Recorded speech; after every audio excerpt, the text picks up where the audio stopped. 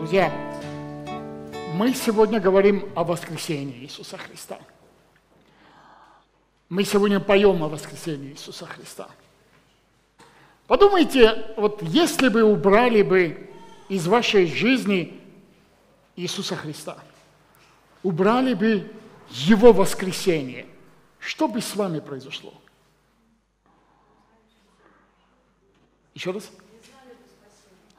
Не, знали, не знали бы спасения. Друзья, воскресение Иисуса Христа – это все для человека. Убери воскресение Иисуса Христа, мы теряем все, что нам а, нужно и все, что у нас есть. Мы теряем смысл жизни, мы теряем надежду. Христианство исчезает. Без воскресения Иисуса Христа все теряет смысл. Ну и что, что пришел бы Иисус Христос и умер? Воскресение показывает, что жертва была принята. Жертва была не напрасна. Поэтому, когда мы говорим о воскресении, мы говорим о том, то, во что мы должны уверовать. То, что мы должны верить всем сердцем и исповедовать это, и иметь жизнь вечную. Но как приходит вот эта вера? Каким образом я могу иметь вот эту глубокую веру и эту надежду? Каким образом это приходит в жизни человека?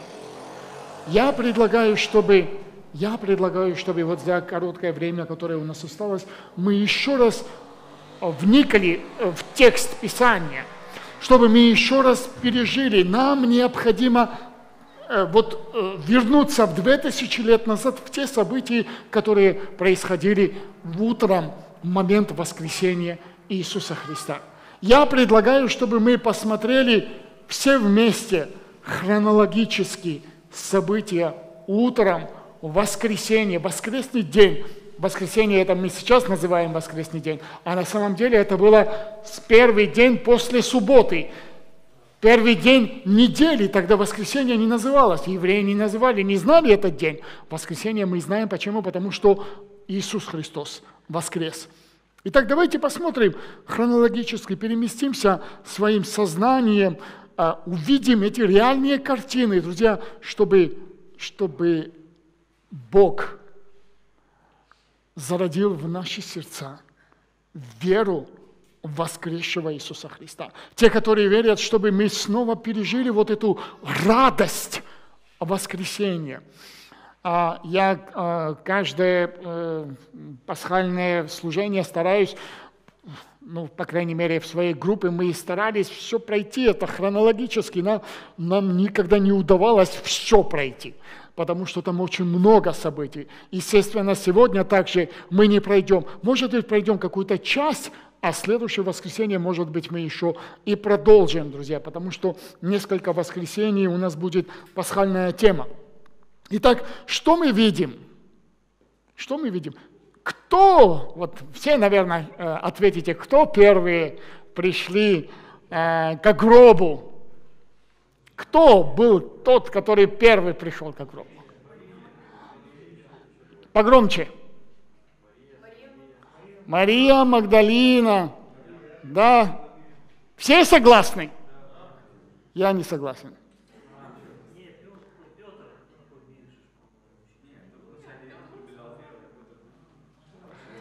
Те, которые закончили библейский институт, сегодня сдают назад дипломы, а те, которые учатся, они имеют шанс еще закончить. Друзья, самые первые к гробу пришли не люди. Кто сказал ангелы? Самые первые пришли ангелы. Для чего? Для чего, друзья? Послушайте внимательно. Самые первые ангелы – это посланник Бога. Тот, которого послал Бог. Для чего? Первый пункт нашей проповеди, друзья, Бог открывает факты. о воскресшем Иисусе Христе. Бог убирает преграды для того, чтобы люди увидели своими глазами воскрес, воскресение Иисуса Христа. И это делает Бог. Посмотрите, друзья, давайте прочитаем Матфея 28 глава, со 2 и 3 стихи. «И вот сделалось великое землетрясение, ибо ангел Господень, сошедший с небес, приступив, отвалил камень от двери гроба и сидел на нем. Вид его был, как молния, и одежда его была, как снег. Бог делает приготовление. Бог хочет открыть людям, чтобы увидели, что Иисус Христос действительно воскрес. Помните, женщины, они идут, и они думают, кто отвалит нам камень. Там действительно э, к гробу привалили огромный камень. Женщины не в состоянии были своими силами это сделать. Но это не главное препятствие. Тут можно еще что-то придумать. Можно, может быть, кого-то найти, попросить. Но какое было главное препятствие для них? Там были войны. Мы знаем, что поставили стражу. Кто вас пустит к гробу? Как вы зайдете туда? Как вы увидите, что там нет Иисуса Христа?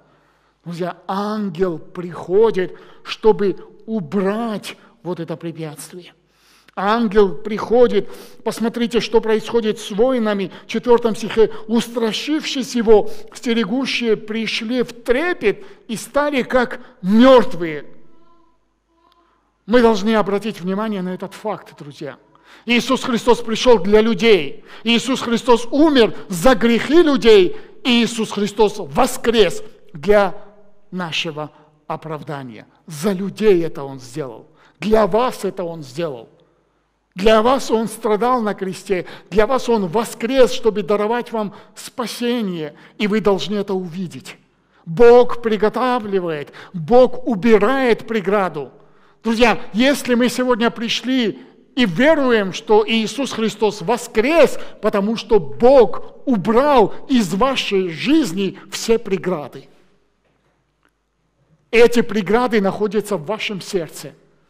Эти преграды находятся вокруг вас, друзья. Вы никогда не уверуете в Иисуса Христа, если Бог вас не приведет к Иисусу Христу. Бог делает это приготовление. Бог делает все для того, чтобы человек уверовал. Кто-то вам рассказывает об Иисусе Христе. Кто-то вас приглашает, чтобы вы услышали проповедь. Это все расцениваете, друзья, это Божье действие в вашей жизни. Примите это как Божья любовь к вам. Бог хочет ваше спасение, чтобы вы были прощены. Чтобы вы уверовали, что Христос реально умер за грехи ваши и воскрес для вашего оправдания. Бог делает первые шаги в вашей жизни. Бог стучится в ваше сердце. И вот таким образом Он ведет вас. Вы скажете, почему же я? Почему же Бог выбрал меня? Я не знаю. Бог не открывает. И вы спросите, неужели Бог не хочет спасения других людей? Неужели Он одним открывает, другим не открывает? Это было бы неправдой. Там были вот эти воины. Разве Бог им не открыл?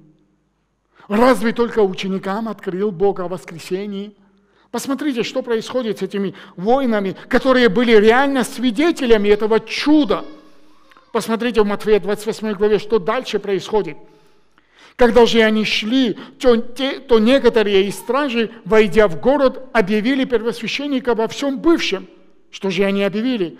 Что они объявили, какое произошло чудо, как ангел, вот это, как они устрашились, как они стали как мертвые. Все это они рассказывают первосвященникам. Первосвященники – это те, которые распяли Иисуса Христа. И си, собравшись со старейшинами и сделав совещание, довольно денег дали воинам и сказали, скажите, что ученики его, придя ночью, украли его, когда мы спали. Если слух об этом дойдет до правителя, мы убедим его и вас от неприятностей избавим. Хорошее решение проблемы, правда?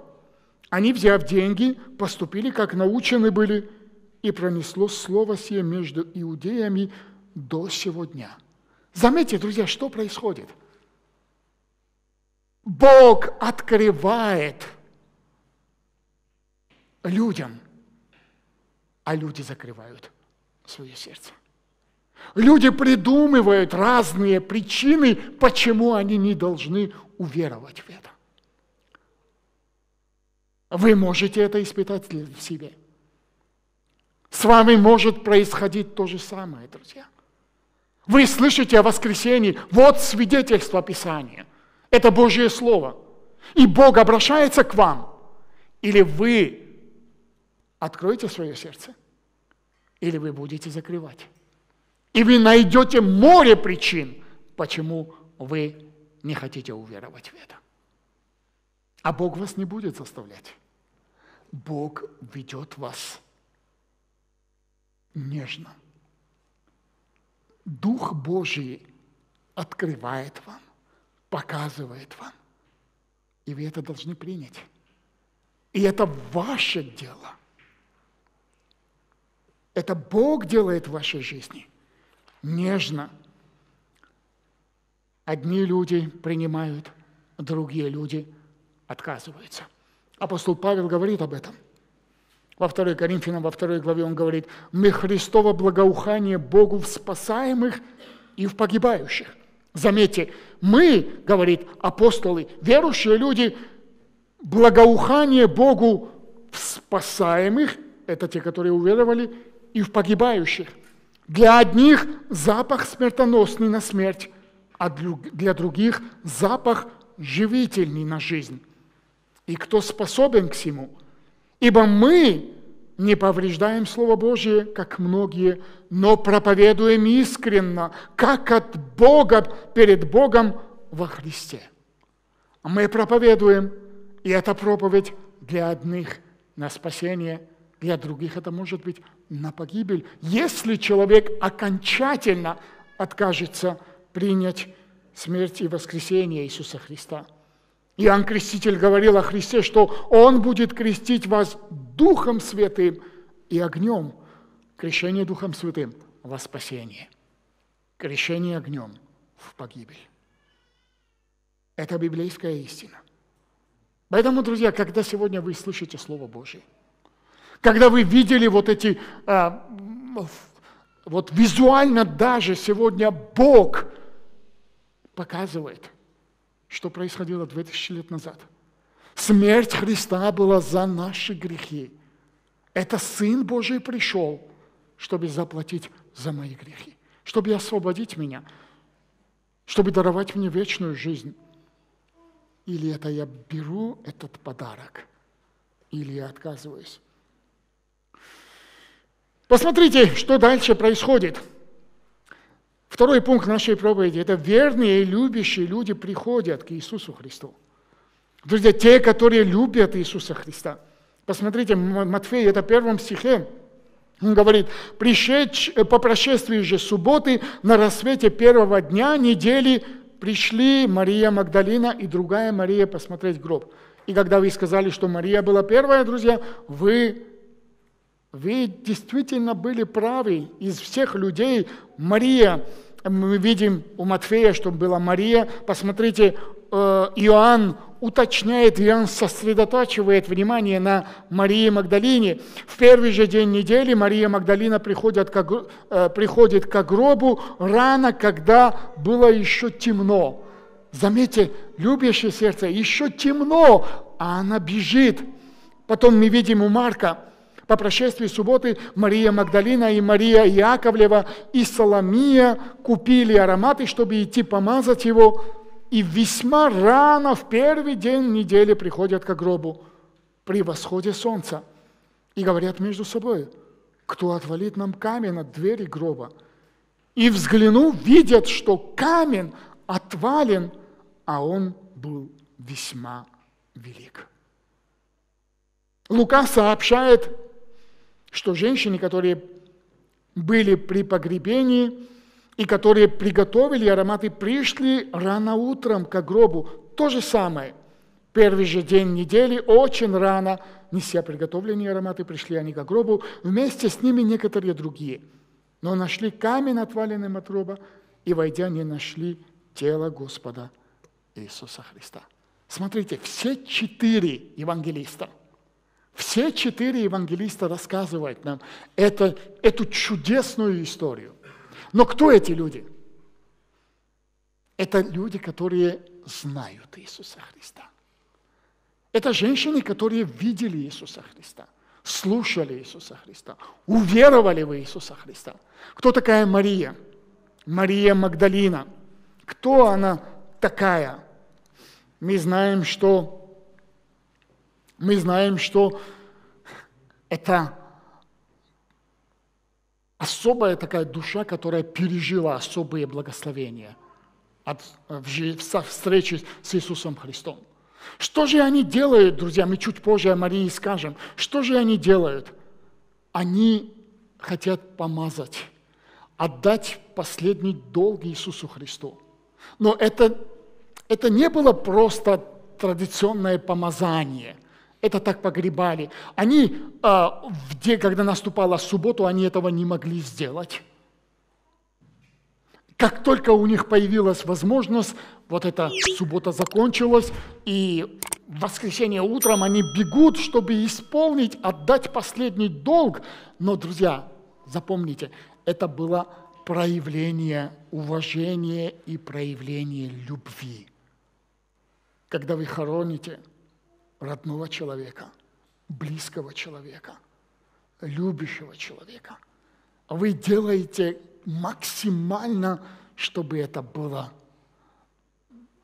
чтобы это было вот как прилично. Вы отдаете последнее, чтобы это сделать, потому что этот человек для вас а, дорогой, с которым вы прощаетесь. Вот что они делают? Это любящее сердце, которые идут, которые готовы сделать то, что они могут сделать. Друзья, если вы любите Иисуса Христа, вы не будете сидеть. Если вы веруете в Иисуса Христа, если вы понимаете, кто Он для вас, вы не будете сидеть сложа руки. Все, что они понимали, они делали. Но что происходит с теми, которые идут к Иисусу Христу? Посмотрите, третье у нас событие – это реакция Марии Магдалини. Что она делает? Она бежит к ученикам – в первый же день недели Мария Магдалина приходит к гробу рано, это Иоанн говорит об этом, когда было еще темно, и видит, что камень отвален от гроба, и так бежит и приходит к Симону Петру и к другому ученику, которого любил Иисус, и говорит им, унесли Господа из гроба, и не знаем, где положили его. Иоанн сосредотачивает внимание на Марии Магдалине – Иоанн упускает другие подробности. Все внимание на Марии. Посмотрите на это разбитое сердце. Мы уже, я уже немножко упомянул, и посмотрите, что было с Марией, друзья. У Марии было сомнительное прошлое. Лука пишет, и некоторые женщины, которых он исцелил от злых духов и болезней. Мария, называемая Магдалиною, из которой вышли семь бесов.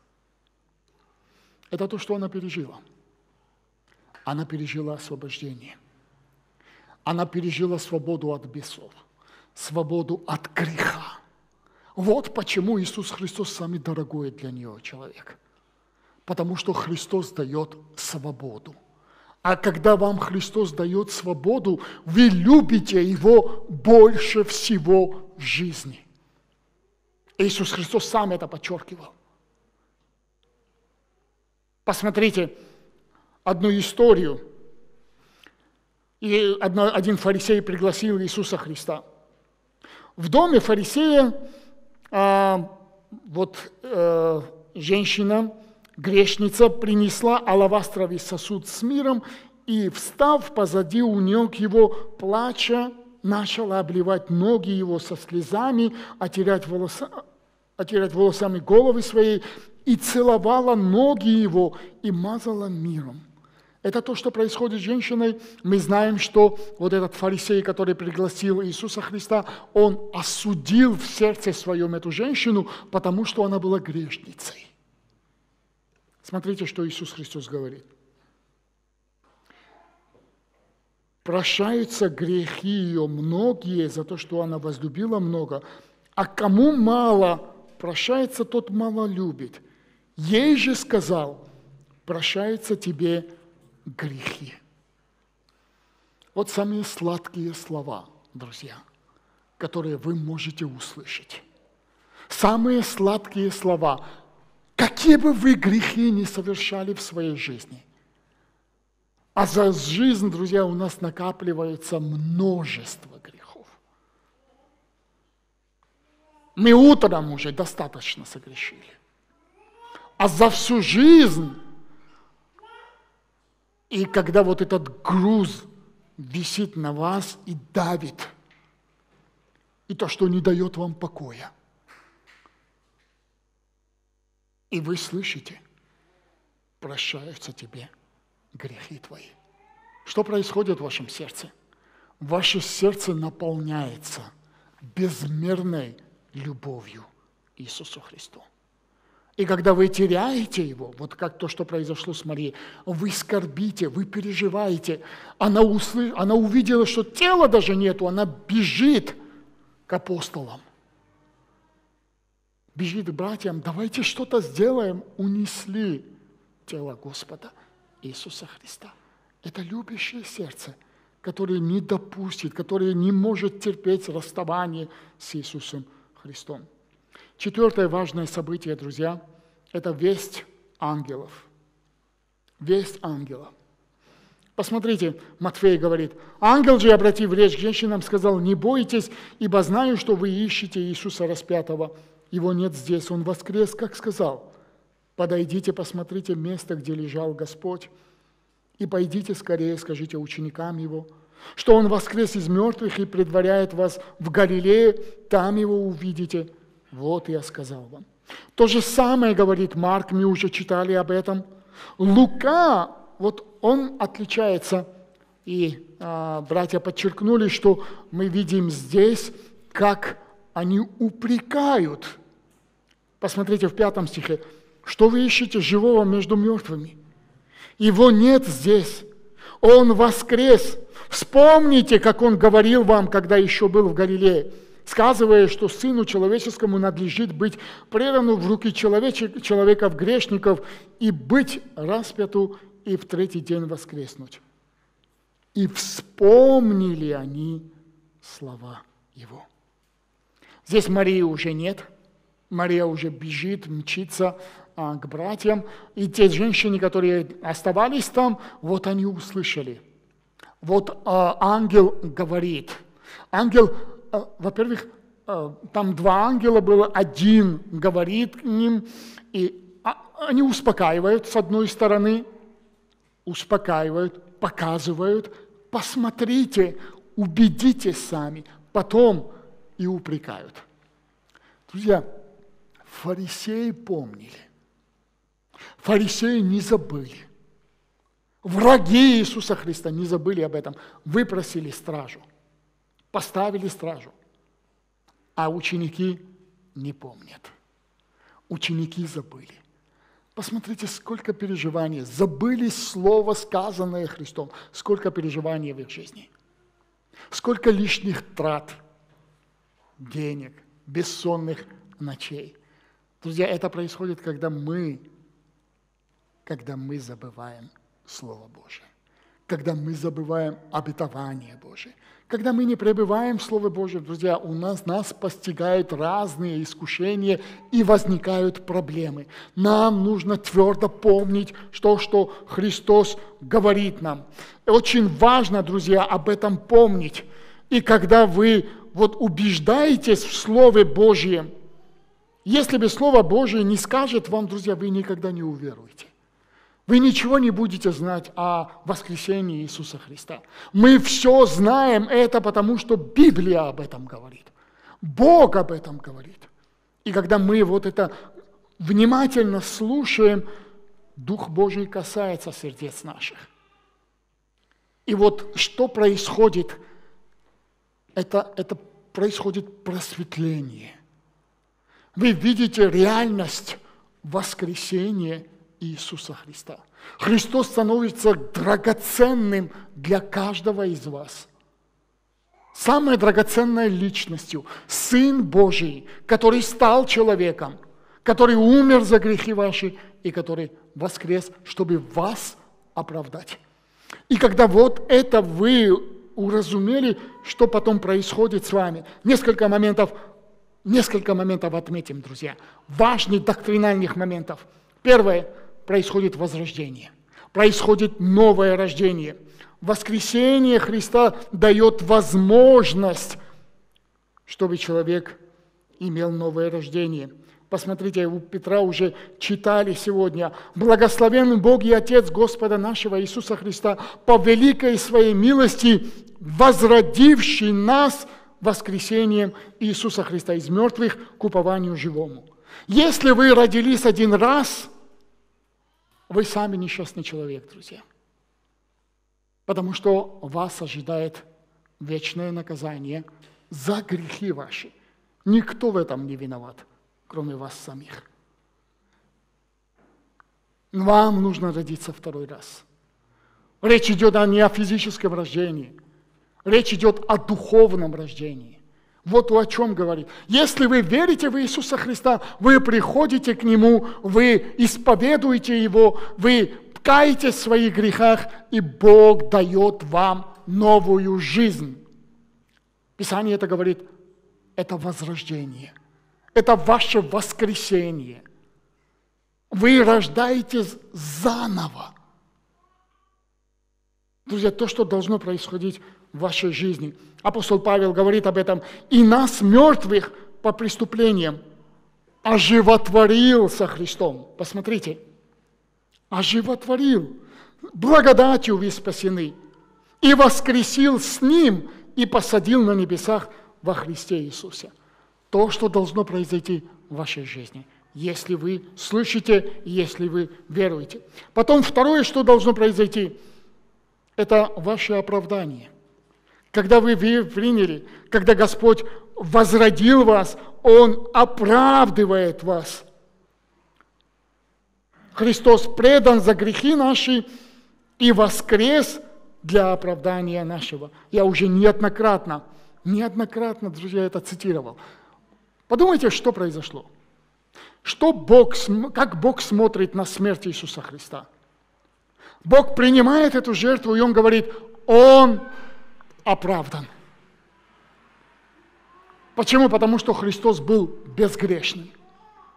И если вы в союзе со Христом, если вы воскресли со Христом, Бог говорит про вас, вы оправданы. Вы ничего доброго еще не сделали для этого, но Бог оправдывает вас. И третье, что дает воскресение, друзья, это наше телесное воскресение. Бог воскресил, Господа воскресит и нас силою Своей. Павел говорит, зная, что воскресивший Господа Иисуса воскресит через Иисуса и нас, и поставит перед собою с вами. Вот то, что должно произойти в каждом из нас. А с теми уже, которыми уже произошло, это обязывает нас к чему-то. Конечно же, обязывает. У нас нет времени, я вижу, что все вы устали, но я кратко скажу, друзья. Если вы уверовали, это значит, что мы, верующие в воскресенье, повинуемся Богу в своей жизни. Апостол Павел, когда говорил о воскресении Иисуса Христа, Гена нам напоминал, целую главу он говорит о воскресении Иисуса Христа, 1 Коринфянам. Смотрите, как он заканчивает. Итак, братья мои возлюбленные, будьте тверды, непоколебимы, всегда преуспевайте в деле Господнем, зная, что труд, труд ваш нечетен пред Господом. Если вы верите в Иисуса Христа, вы живете для Него. Вы преуспеваете в Его деле. Вы живете для Него, потому что вы принадлежите Ему. Потом что? Вы хотите э, награду, небесную награду, друзья.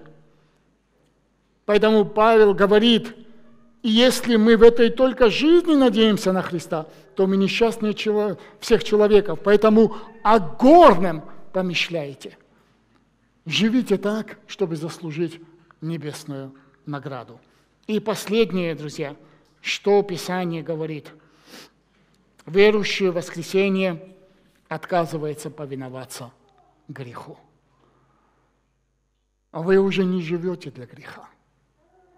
Грех уже позади, друзья.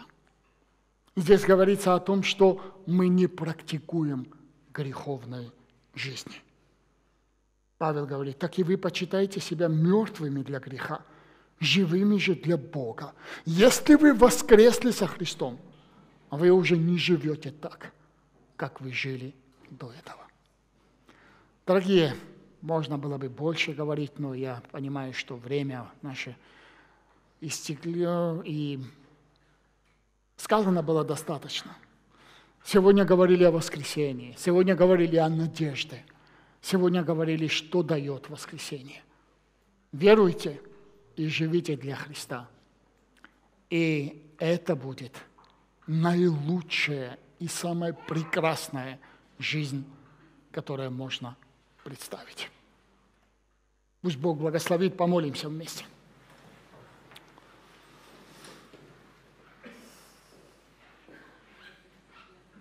Слава и благодарность Тебе, Отец наш Небесный, за Сына Твоего, за умершего и воскресшего Иисуса Христа, за то, что Ты, Господи, даровал в Нем нам победу и над грехом, и над смертью, и над дьяволом, и над этим миром – и за то, что мы уверовали, Господь, мы понимаем, что это не наша заслуга, а то, что Ты сделал для нас.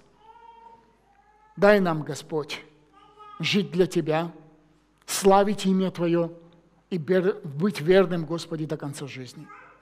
Также мы молимся за тех душ, которые есть в нашем собрании, те, которые еще не открыли свои сердца, те, которые еще не уверовали в Тебя и не имеют вечную надежду. Господи, постучи в их сердца чтобы они увидели воскресшего Иисуса Христа.